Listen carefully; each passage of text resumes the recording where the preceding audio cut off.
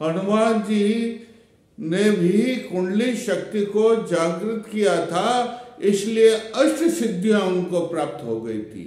और अष्ट सिद्धियों के कारण ही हनुमान जी आकाश में उठ सकते थे, कहीं पर भी जा सकते थे। हनुमान जी के गुरु थे सूर्य, और सूर्य उपासना से, सूर्य से ही कुंडली जागृत होती है। तो गुरु ने उनको शिक्षा दे दी, हनुमान जी की हनुमान जी कुंडली जागृत हो गई। जब राम और रावण का युद्ध हुआ, तब लक्ष्मण मूर्छित हो गए थे।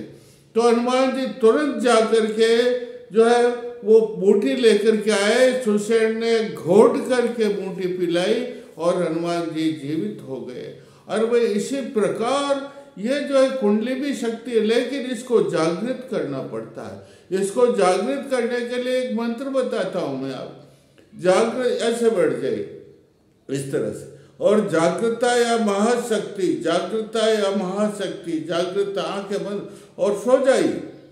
सो करके आप इस मंत्र को पढ़िए तो आपकी कुंडली जागृत हो जाएगी।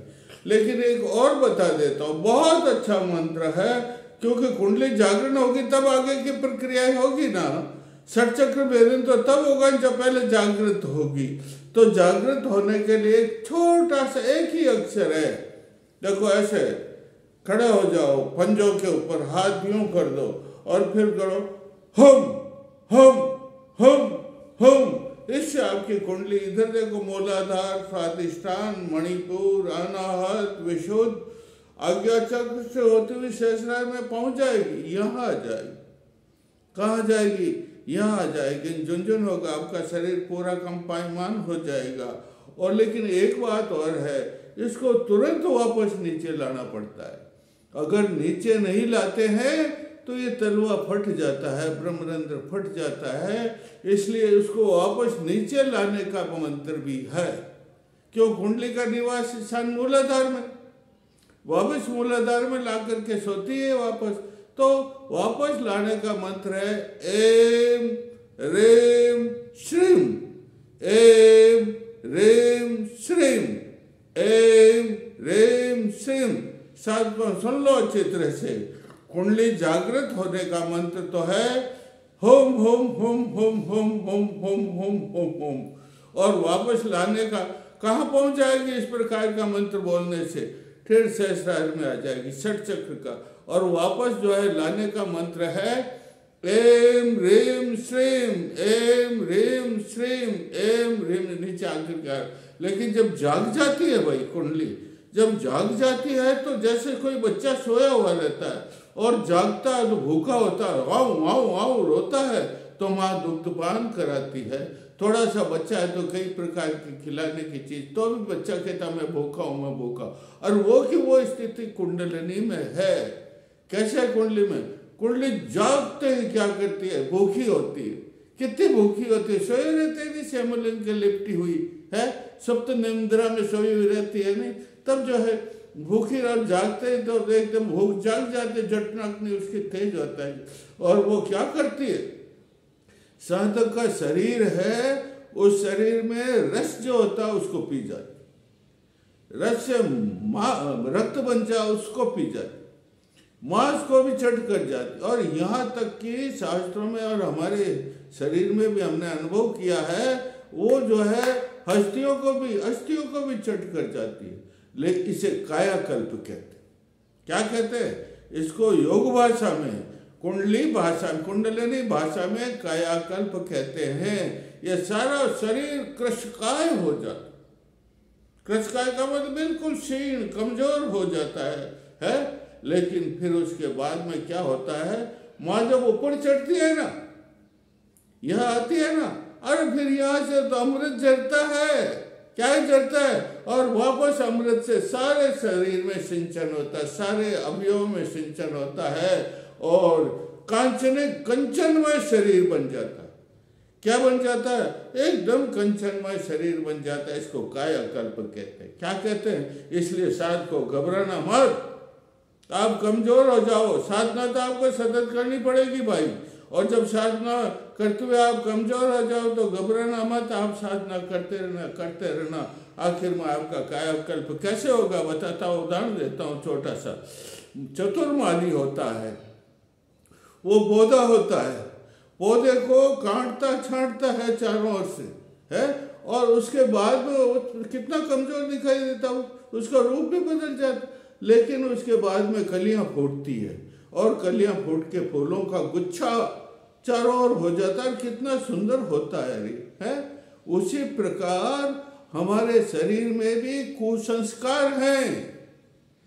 कलवश है, दोष है, वृत्तियाँ है। उन वृत्तियों को हमें, वो तो माली करता है। लेकिन कुंडली जब जागृत होती है, उन वृत्तियों को कुंडली भी हटाती है और हमें अपने आप हटाना पड़ता क्या करना पड़ता है? अपने आप उनको संस्कार को हटाना पड़ता है इससे शरीर ऐसे जैसे बसंत ऋतु होती है ना, उसके पहले कौन सी ऋतु होती है? पतझड़ ऋतु। कौन सी ऋतु होती है? पतझड़ ऋतु के अंदर सारे पत्ते झड़ जाते हैं, वृक्ष कितना अकेला दिखाई देता, कितना कृषका कमज़ोर दिखाई देता। लेकिन उसके बाद में बसंत की बहार आती है, वृक्ष में नए कोपले फूटती है और वृक्ष बहुत चमचमाट करता हुआ सुंदर होता है। और इसी प्रकार इसकी अग्नि परीक्षा होती है। कुंडली साधक की अग्नि परीक्षा करती है। प्राणाग्नि है, कुंडली को क्या कहते हैं? प्राणाग्नि कहते हैं। कुंडलिनी को योगाग्नि कहते हैं। और इस योगाग्नि के अंदर साधक तपता क्या करता है? तपता है। और तप करके शरीर को जैसे कच्ची ईट होती है ना, कुमार ईट बनाता है। कच्ची काली काली ईट होती है, हाथ लगाते यूँ करते टूट जाते लेकिन कुमार जब उसको नियम के अंदर पकाता है, उस समय में वो बाद में जब निकालता है, ईट का पक्के हो जाते कितने बड़े बड़े बिल्डिंग बनते कितने साल तक जीवित रहते हैं। उसी प्रकार साधक का शरीर भी ईट के समान बहुत सुदृढ़ हो जाता है कुंडली जागरण होने से। इतना फ़र्क पड़ता है भैया कुंडली जागरण का। सोना होता है।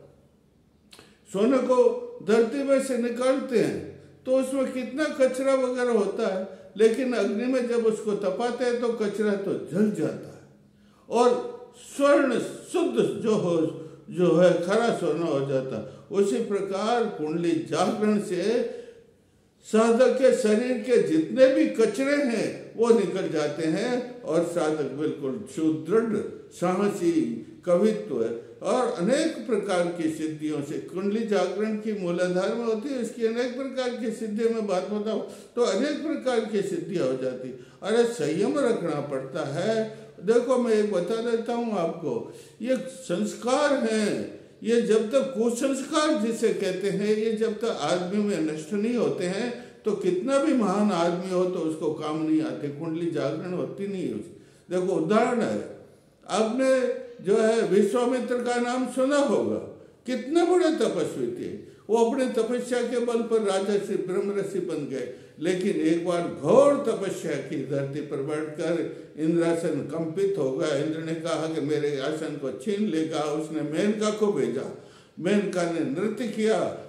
विश्वामित्र विमोहित हो गए। उसके साथ शादी की और संतानोत्पत्ति की। लेकिन उनके कर्म जो तपस्या की नहीं लेकिन उसके कर्म नष्ट नहीं हुए थे। इसलिए उन्होंने, लेकिन एक दूसरा उदाहरण और है। देखो, आपने वेद जी का नाम सुना होगा। वेद जी के लड़के थे, जिनका नाम था सुखदेव। अरे, सुखदेव जी ने तो जन्म लेते ही जो ही जन्मे माँ के गर्भ से निकले तो ये वन में भाग गए अरे, पिता ने कहा, ठहरो ठहरो ठहरो। माता ने कहा, ठहरो ठहरो, लेकिन नहीं किसी की न माना। गौर में तपस्या की। इंद्र ने फिर भी इनको जो है कंपायमान करने, इनको चुत करने के लिए रंभा को भेजा। लेकिन उन्होंने रंभा को ऐसा उत्तर दिया कि उसको वापस लौटना पड़ा। तो कारण क्या था कि उनका जो कामदेव का जो बीज था, वो नष्ट हो गया। जड़ मूल से नष्ट हो गया था। देखो, तीन चीज़ें हैं। तीन प्रारब्ध कर्म हैं। कर्म कौन से तीन तीन एक तो संचित कर्म एक प्रारब्ध कर्म और एक क्रियमाण कर्म संचित कर्म का मतलब हमारे सो सात भोगे कर्म हैं, कुकर्म हमने किए हैं, पाप हमने किए हैं, वो इकट्ठे होते जाते उनको कहते हैं संचित कर्म। अरे, इनको भोगना ही पड़ता। जब तक भोगेगा नहीं, उसके कर्म संस्कार नष्ट नहीं होंगे। दूसरा है प्रारब्ध। प्रारब्ध का मतलब वर्तमान में हम जो जीवन जी रहे हैं, उसमें कुकर्म कर रहे हैं, कुछ संस्कार कर रहे हैं, उसमें पाप कर रहे हैं, वो सब जुड़ते जाते हैं उसमें। उसको कहते हैं प्रारब्ध। और क्रियमाण कर्म कर मतलब जो हमने कर्म संचित किए, प्रारब्ध किए, उसमें शेष रहेंगे जो आगे भविष्य में उनका भोग, हमें भोगना पड़ेगा भैया। तो उन्होंने किसने किसने, उन्होंने वेद व्यास जी के पुत्र सुखदेव ने इन तीनों कर्मों को जड़ मूल से उठा दिया जड़ मूल से नष्ट कर दिया था और जन्मते तपस्या करने निकल गए थे। बाप के कहने से, माँ के कहने से सब लोग उनके पीछे भागे, लेकिन वो नहीं आए। वो एक वृक्ष है। वृक्ष की जड़ को काट देते। और जड़ को नहीं काटते, ऊपर से ठूट तने को काटते तो तने से खोपड़े वापस फूट के वृक्ष तना हो जाएँगे। उसी प्रकार कुसंस्कारों को जड़ से, पेड़ की जड़ों को ही काट देते तो बड़ा नहीं होगा उसी प्रकार जो है हमारे संस्कार भी वापस जब जड़मूल से नष्ट नहीं करते हैं, जिस प्रकार बीज को नष्ट नहीं, आप हमारे इस चैनल को सब्सक्राइब करें, लाइक करें, और मैं इतनी मेहनत करता हूँ तो प्यारा सा कमेंट भी करें। तो जड़ मूल से इनको नष्ट करना पड़ता है। जब से कर्म को जड़ मूल से नष्ट नहीं करते हैं, तब तक जो है आप कितने भी हमारी कुंडली जागरण नहीं होती। और कुंडली जागरण के लिए भी तो हमारे को क्या करना पड़ता भोजन? हम इस भोजन नहीं कर सकते आप। आप मांस, मदरा इससे दूर रहना पड़ता। यहाँ तक कि बीड़ी सिगरेट भी नहीं पी सकते, लहसुन प्याज भी नहीं खा सकते। इतनी इसकी सावधानी रखनी पड़ती है। तब कहीं और शरीर को बिल्कुल शुद्ध करना पड़ता है आप स्नान कीजिए दो समय। आप अंतरात्मा को दो बार शुद्ध कीजिए। और फिर मैंने जो आपको मंत्र बताया कि महाशक्ति जागृत या एक और मंत्र बता दी मंत्रों से जागृत होती।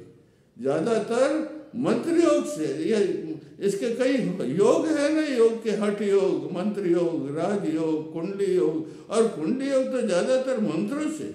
कैसे? अरे कुंडली हमारे ऋषि मुनियों की जागृत हुई थी, आज से सहस्रों वर्ष पहले। तब ऋषि मुनि पहले वेद थोड़े थे, पहले वेद थे नहीं थे। माँ कुंडली जागृत हो गए ऋषि मुनि तपस्या करते थे, माँ कुंडली जागृत, और कुंडली जागृत तो थोड़ा ही, उन्हें तत्र प्रज्ञा। उन्हें जो है ऋतम्बरा नाम की बुद्धि बुद्धि में भी पहले बुद्धि होती है, उसके बाद में धी होती है, उसके बाद में मनीषा होती है, और उसके बाद में ऋतम्बरा तत्व प्रज्ञा ऋतम्बरा नाम की बुद्धि, सत्य बुद्धि होती है, उसमें इतना ज्ञान होता है, ज्ञान का भंडार होता है कि वो मंत्र दृष्टा बन गए। ये जो वेदों में जितने भी मंत्र हैं, सब ऋचाएँ हैं, सब ऋषि मुनियों ने की है तो इसके जागरण का इतना प्रभाव है रे, किसका? इसका जागरण का, कुंडली जागरण का इतना प्रभाव है। आप जो है, कुंडली जागरण का सतत अभ्यास कीजिए। डरो मत, कमज़ोर हो जाओगे, डरो मत। आपका कायाकल्प हो जाएगा, जिस प्रकार वृक्ष का कायाकल्प होता है। और जिस प्रकार जो है, अरे संजीवनी बूटी है मृत प्राय हो जाओगे तो आप इसकी सिद्धि हो जाएगी तो आप जीवित हो जाओगे पुनः। आप संजीव सारे संसार सिद्ध योगी बन जाओगे। क्या बन जाओगे? सिद्ध। इसलिए अब मैं आपको आगे की बातें कल बताऊँगा। बोलिए, जय श्री राम, जय श्री राम, जय श्री राम।